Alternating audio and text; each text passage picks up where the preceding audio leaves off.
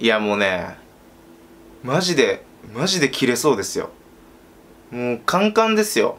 うん。もうカン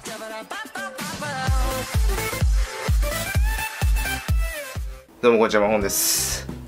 えー、今日はね、ちょっとね、本当に、もう、世の中、世の中だなーっていう話があったんで、ね、皆さんにちょっとお話しして、ちょっとでもね、発散させてください、今日は。なんとね、なんとですよ。空き巣に入られました。いや、マジで笑い事じゃなくて、本当に入られちゃって、いやー、びっくりした。でも、帰ってきて、おあただいまっつって。で、僕、もともと部屋き汚いんです、正直。綺麗ではないんですよ。だから、あー、なんか、ただいま、いつもよりもなんか荒れてんなーと思って。と思ったら、窓が開いてるんですよ。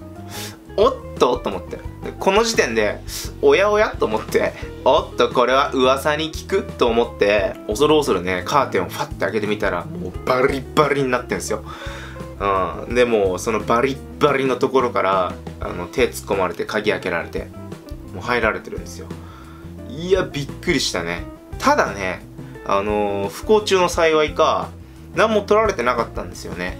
あの完全にもう現金とかあの商品券とかそっちのあの目的だったみたいで何にも取られてなかったんですよね。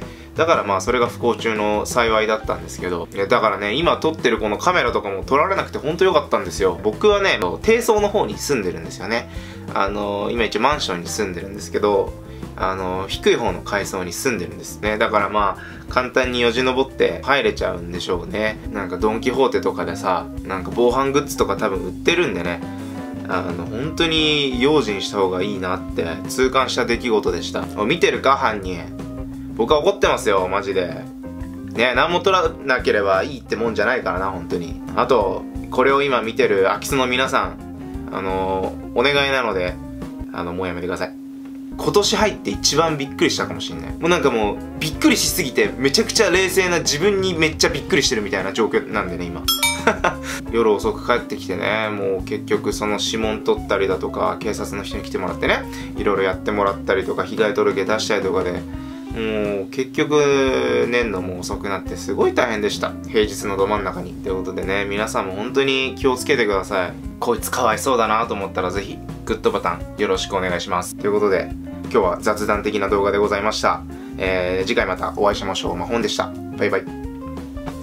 うぜえ